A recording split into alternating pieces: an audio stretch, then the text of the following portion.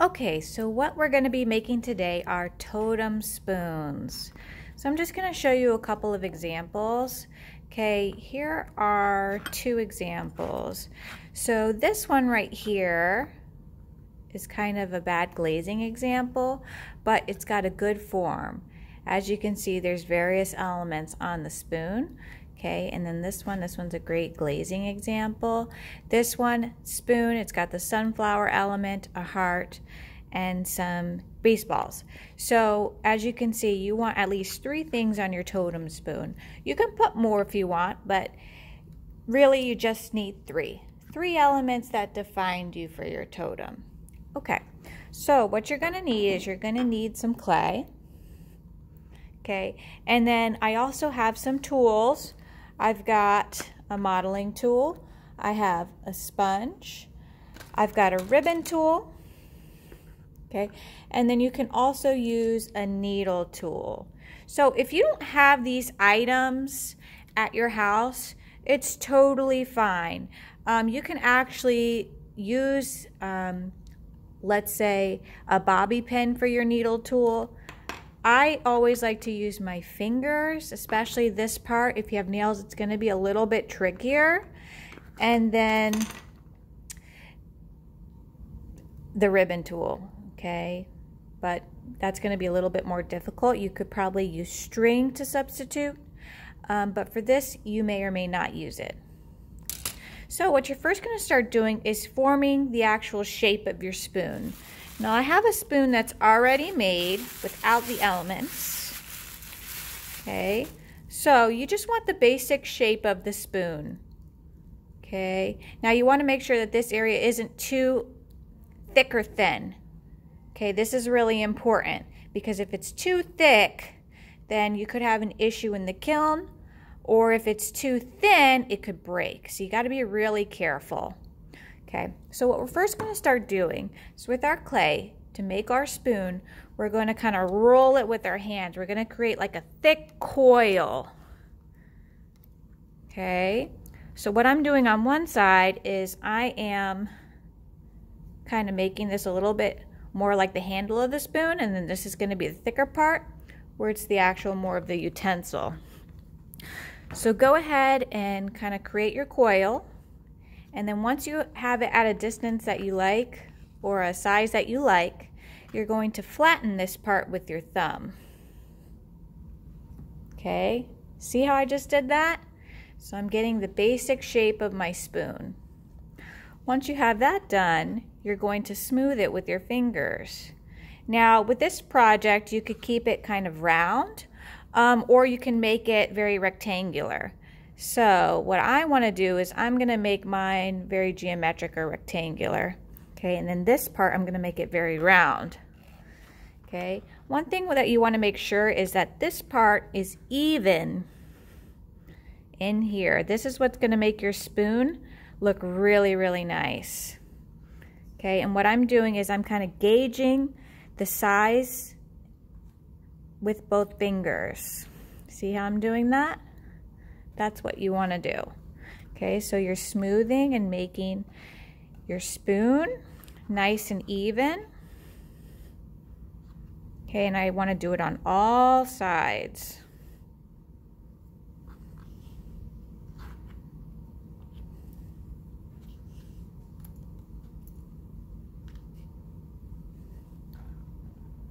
Taking my fingers, smoothing it as I go. Now, if you have nails, this is the part where this tool is going to come in handy, your modeling tool. Okay, you're going to actually use it by like kind of scooping and smoothing.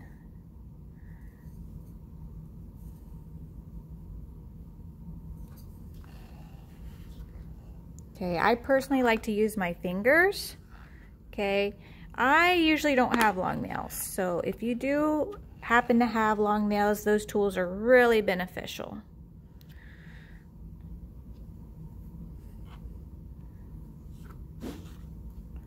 Okay, and then there's my spoon. Okay, depending, you may want it to be shorter or longer. For me, what I'm gonna do is I'm gonna make mine shorter. Okay, so I'm gonna cut this piece off. making it nice and straight. I'm just using my fingers to kind of shape it. Okay, so from there, you want to come up with your three elements. So, let's say you want to make a flower. One thing that I would do, because I love plants, is I'm going to make a little rose. So to start that, I'm going to press the ends of my petals. Okay, and then I'm going to wrap. Something like that. Okay, and I'm going to make more petals. So I'm going to flatten the edges.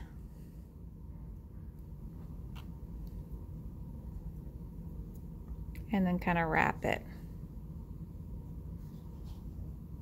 Okay, and you're going to keep doing that until you're happy with it.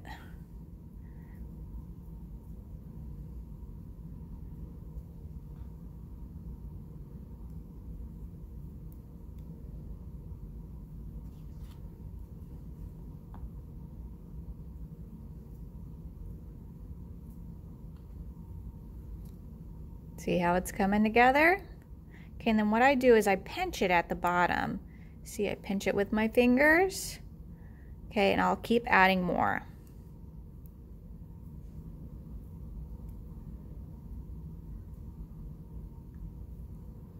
Okay, I have one end that's pretty thin and the other thin where I attach it at the bottom that's thicker.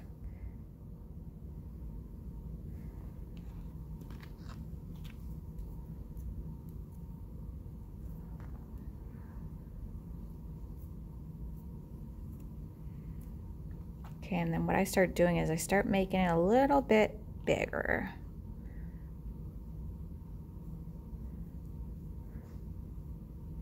Okay, once I pinch, you may want to take some excess clay off from the, the end. Okay, and then I'm going to do one more petal.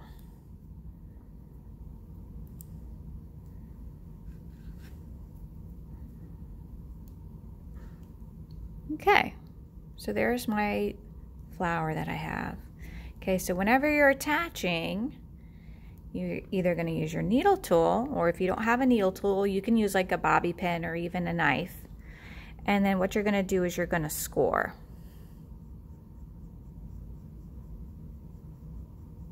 Okay, and for me, I'm going to put it at the end. So I'm going to score just like that. I'm going to score both pieces.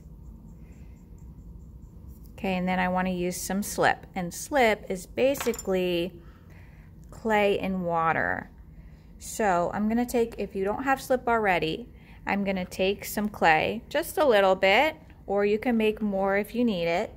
And then I'm going to put it in a container and then put some water. Sometimes I like to put a little bit of vinegar in it uh, that really breaks it down much faster.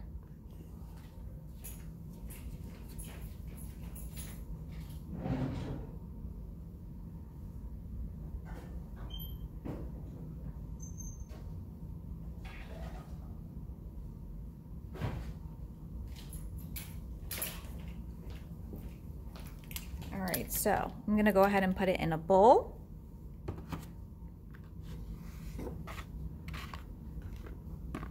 Okay, and then I like to put vinegar in it.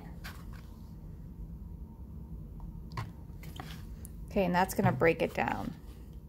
Okay, you can also just use water and just let it sit for a little while. Okay, okay, let's say for my next element, I wanna make a palette. So what I'm gonna do is I'm gonna just roll a ball in my hands and then flatten. Okay? And then from there, what you can do is you can actually shape it with your fingers or you can cut it. So in this case, I'm gonna just kind of cut it.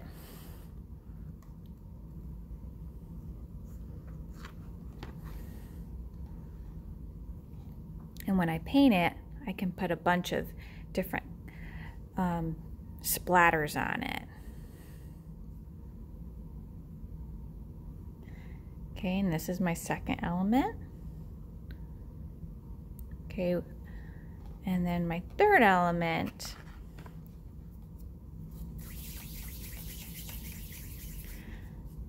You can really make anything you want. Um, for this one, I'm gonna make a YouTube symbol since I'm doing a YouTube video right now. So what I'm doing is I'm rolling it in my hands Okay, and then you can flatten it. Okay, and then you can either cut or shape.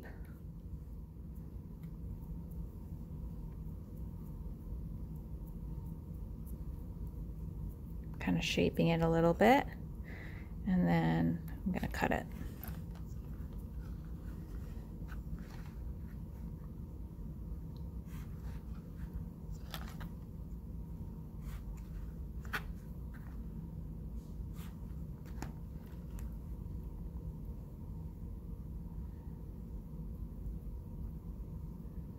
Okay, and I'm just smoothing out the edges.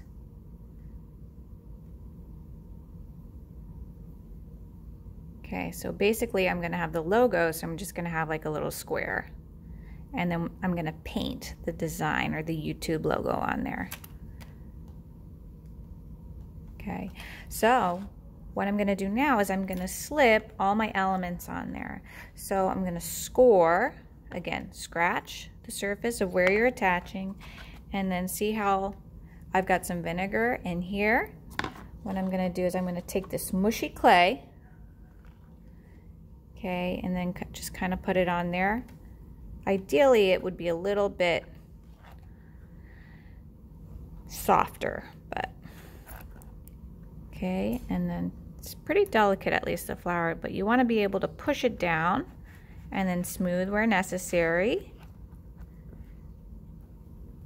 Okay, but you want to see if you can kind of pull it or tug it so that it doesn't come off. I'm going to do the same thing with my little logo. Scratching.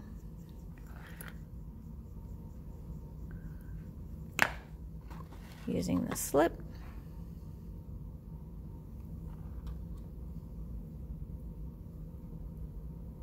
Pressing down a little bit. And then thermite for my third element scratching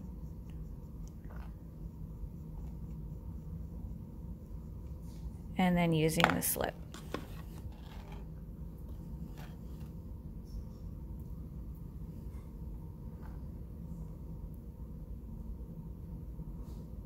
Okay, and then you just kind of do like a final run through. So what I do is I take a look at my my elements. Okay, make sure that I have it nice and even.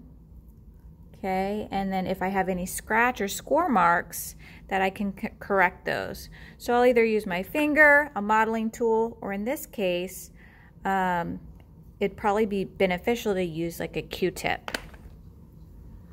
Okay, so there you are. There's my totem spoon.